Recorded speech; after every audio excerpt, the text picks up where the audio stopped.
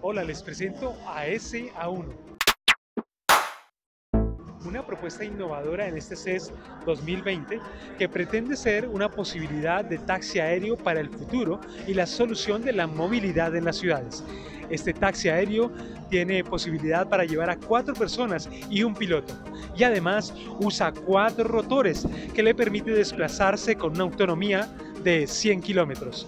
Además, estas compañías que lo han desarrollado, que lo están desarrollando, actualmente Hyundai y Uber, proponen además una infraestructura en la ciudad que sea, o que mejor, que posibilite que estos vehículos puedan tener estacionamientos aéreos y la posibilidad de llevar de forma cómoda a los pasajeros.